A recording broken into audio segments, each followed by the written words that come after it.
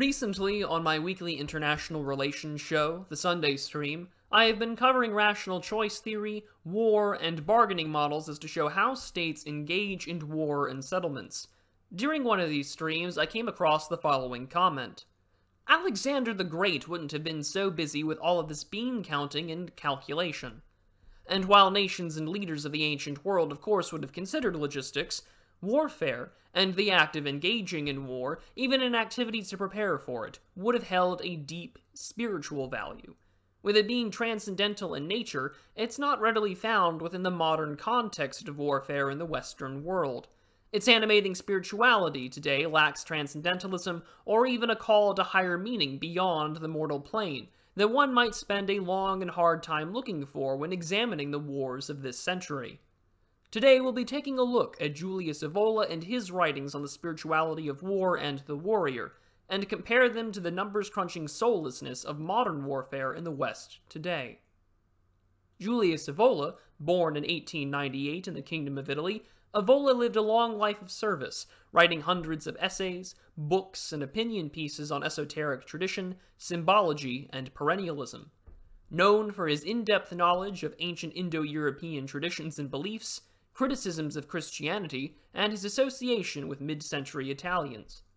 In reference to today's video, I will be referring to Evola's essays in The Metaphysics of War and sections of Revolt Against the Modern World, with links in the description for your reading pleasure, and with more specific references when necessary. Evola considers war to possess an ancient, transcendental, and spiritual value, as well as something that a warrior had to invest in, to become, rather than something they were naturally by birth or association. It required significant investment to be deemed worthy of such a class, meant to be a leader above all and to lead his men into battle, either to relish in victory or to transcend in death. Evola writes in Revolt Against the Modern World that knighthood was a symbol of investiture and belonging to a warrior caste that shedded its territorial roots. Quote, Knighthood, instead, appeared as a super-territorial and super-national community in which its members, who were consecrated into military priesthood, no longer had a homeland and thus were bound by faithfulness not to the people, but, on the one hand, but to an ethics that has as its fundamental values as honor, truth, courage, and loyalty, and on the other hand, to a spiritual authority, to a universal type which was essentially that of empire. We'll be taking a closer look at knighthood and war later, but the following passage stands out as he discusses the Holy Roman Empire. Quote, Knighthood, and the great knightly orders of the ecumene that were an essential part of the empire, since they represented the political and military counterpart of what the clergy and monastic orders represented to the ecclesiastical order. Knighthood did not necessarily have a hereditary character. It was possible to become a knight, as long as the person wishing to become one performed feats that could demonstrate his heroic contempt for the attachment of life, as well as the above-mentioned faithfulness in both senses of the term. Seen in European history, there was this great knightly tradition, and even an Anglo-Saxon tradition of knighthood, as Arthurian legend speaks of the great duties and honors, feats of daring that made one possess the qualities to lead men into battle and to be at the Knights' Round Table. And hold reverence, of course, to God on high. Thomas Malory, or Caxton if you prefer, speak of this tradition that shows of a bygone era of duty, honor, and piety, in one performing and seeking out to perform the deeds to enter this warrior caste. However, in the chapter The Soul of Chivalry, where these quotes are taken from, Evola does conclude that this tradition soon faded with changes in the church, and with it, the chivalrous warrior caste was soon drawn out in his view, writing, quote, It had to close an eye to the expressions such as that of John of Salisbury's. The military profession, both worthy and necessary, has been instituted by God himself and it even came to see war as an ascetical and immortalizing path. Moreover, thanks to this deviation from the church of the main themes of primitive Christianity, that during the Middle Ages Europe came to know the last image of a world that in many aspects was of a traditional type. But it wasn't just the older, traditional type of warrior that Evola writes about. Evola was familiar with the ancient and now esoteric traditions, perspectives, and beliefs into not how only the warrior conducted himself, but how war was fought both against the enemy and what it means to win. In the posthumously published book Metaphysics of War, a collection of articles and essays on the topic, Evola is clear that war was viewed with an intrinsic spiritual meaning along with possessing religious qualities. Writing about the Roman conception of victory, Evola in 1943 wrote the following quote, Thus, the force of the enterprise of war fell on more than merely human plane, and both the sacrifice and the heroism of the combatant were viewed and considered to be more than merely human. The Roman conception of victory is particularly important. In this conception, every victory had a mystical side in the most objective sense of the term. In the victor, the chief, the imperator, applauded on the battlefield, was sensed the momentary manifestation of a divine force which transfigured and transhumanized him. The military victory ritual itself, in which the imperator, in the original sense, not of emperor but of a victorious chief, was lifted on a special shield, is not devoid of symbolism, as can be inferred from Ennius.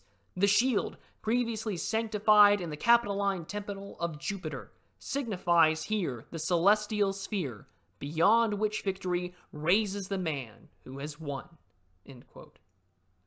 Later on, in The Sacrality of War, published earlier on June 8, 1935, Evola wrote more about Romans and their concept of victory, and what it meant to lead men into the jaws of war and to emerge with victory, often in bloody hand.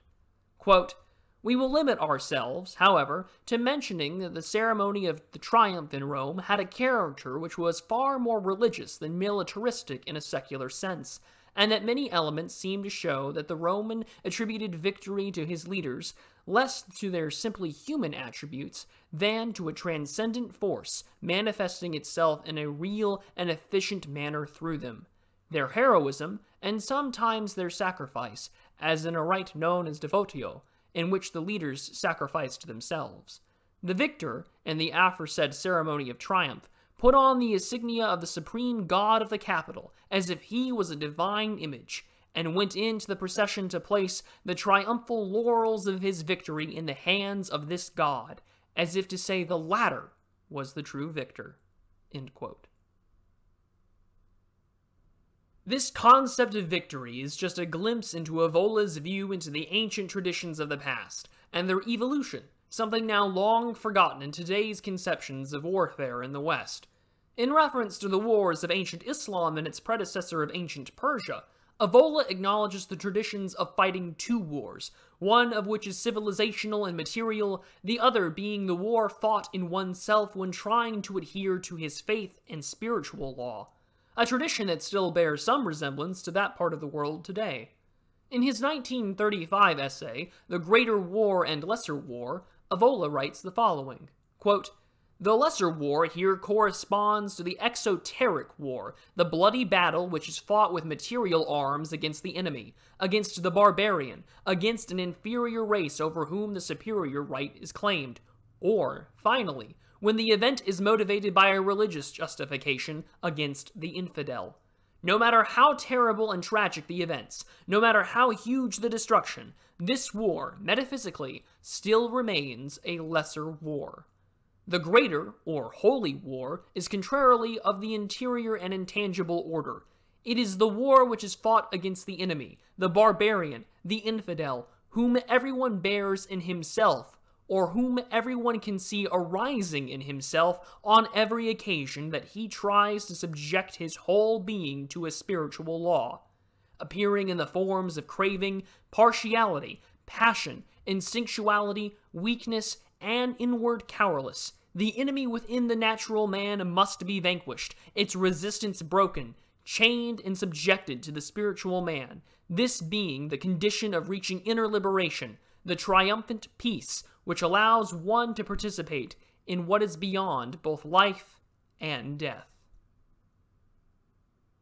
With these insights based on Evola's readings, writings, and research, one's attention should be brought towards the present.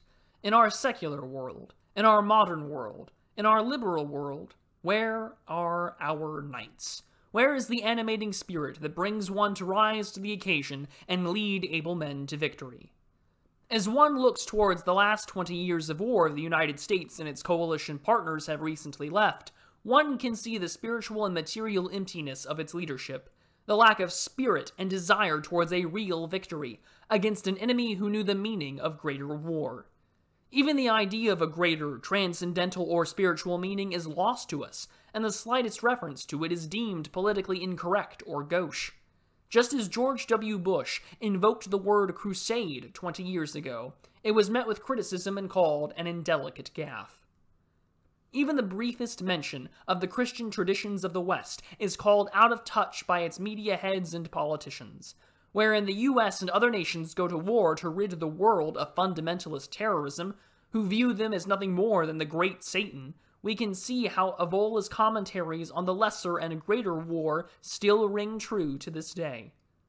Even the more contemporary political scholars and writers, such as Samuel P. Huntington, known for his book The Clash of Civilizations in 1996, warned about the ongoing clash between secular liberalism and the world of Islam, writing that while the West wishes to modernize Islam, the Islamic world wishes to Islamize modernity.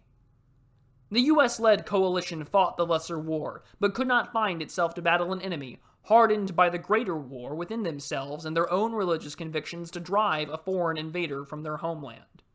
What transcendental value, what animating spirit can motivate the West to fight such an enemy?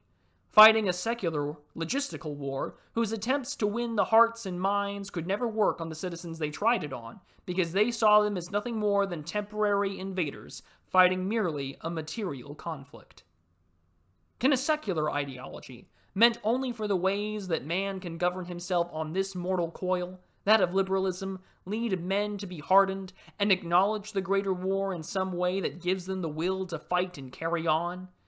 Even while this progressive dogma, a heretical offshoot, a fan fiction esque version of Christianity, infects the American institutions and attempts to infect European ones, does not have the ability to bring people to fight for a victory that shows the superiority of their faith. Fighting for human rights? Democracy? Girls' schools halfway around the world? With no hardened sense of faith to go on, no knightly caste to lead them to victory, only with its scribes, priests, and bean counters pulling them in every direction, thrashing into the void with no end in sight. Jacob Siegel in the American Affairs Journal wrote about it perfectly in the summer issue of 2020, titled Data Driven Defeat Information versus Interests in Afghanistan, where he writes about the objectives of the war. Quote, where official explanations broke down, the Washington Post's Afghanistan papers published last December suggested an alternative theory of the war. In a series of articles based on previously unseen transcripts of closed door interviews with key decision makers, numerous U.S. officials privately acknowledged believing that the war was unwinnable. Your job was not to win, it was to not lose, one former member of the National Security Council staff said in 2014. Numerous officials described how the war's all important metrics of success were systematically falsified.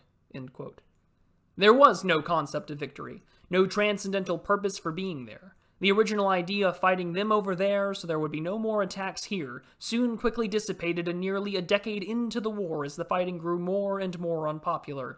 But the interests of the elites began to seek not only to enrich themselves, but to find reasons to stay. Which is how a war could start with such spirit to fight back, only to end with its elites begging to stay and nation build, the very thing their predecessors promised against. Siegel continues, quote, By 2019, however, Mattis was out as Secretary of Defense, a departure triggered partly by disagreements over what he viewed as Trump's reckless efforts to extract American forces from the Middle East. In February 2019, the president floated a plan to get out of Syria and Afghanistan. Immediately, a bipartisan majority formed in Congress to oppose the move. From the Senate floor, Majority Leader Mitch McConnell warned of the dangers of a precipitous withdrawal, shoring up Congress's two decade long record as a bulwark against precipitous moves in Afghanistan. McConnell's amendment, reflecting Trump's plan in favor of continued stalemate, passed away with an easy 70 to 26 majority. Even now, the leaders, defense contractors, and media heads push on, with no sense of animating spirit, only the focus of the here and now to enrich themselves, profiting off stocks, earning seats on the boards of defense contractors that made them wealthy while in office, all while with a media and consensus making apparatus that continues this notion towards other countries that have an idea of greater war, or at the very least hold on to the traditions of victories within their own cultures, like the Romans once had. Who are its knights? Who seeks anything other than material gain in the warrior caste that was once meant for great honor, piety to its empire or nation? Certainly not that of Lloyd Austin, who was the board member of Raytheon before becoming a defense secretary. Mattis, the Mad Dog General, well, he's on the board of another defense contractor, General Dynamics. Men whose allegiances, all well worth questioning in terms of fitness of leadership. The contrast between the ancient traditions of chivalry, knighthood, and war are clear as night and day. But I'll leave you all with this. Earlier this week, former Defense Secretary Robert Gates sat down with Anderson Cooper, of all people, on 60 Minutes, portrayed as some sort of neutral arbiter on Afghanistan between Biden and Trump. The man at least had half a sense to claim that he held some partial responsibility for what took place in the Middle East, but it simply was one insider talking to a media head offering insight. Many such cases. Victory was never clearly an option, no transcendental or spiritual reason to carry on this fight or of the liberal project. Francis Fukuyama, while criticized as being a triumphalist, did warn at some point in time that there would be struggles, just so we in the United States wouldn't be bored in this post Cold War world. Post Cold War America wasn't prepared, and still isn't prepared, for a multipolar world order, as its rised empire was at a time of European decline and dealing with a bipolar world, quickly becoming a unipolar power. But alas, the US regime here will continue to thrash, struggle, and look for fights that it cannot win, that it will not win, with no meaning, spirit, or purpose. Thank you all for watching. I'll see you all in the next video. Be prudent, everybody.